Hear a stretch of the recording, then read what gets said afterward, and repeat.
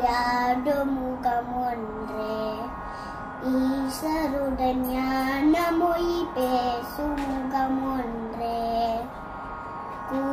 கூடுமடியார்கள் வினை தீர்க்கும் முகம் ஒன்றே குன்றுருகவே வாங்கி நின்ற முகம் ஒன்றே மாறுபது சூரரை வதைத்த முகம் ஒன்றே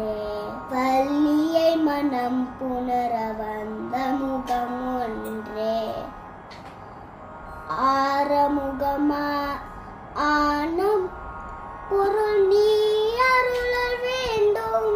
ஆதி அருணாச்சலம் அமர்ந்த பெருமானே.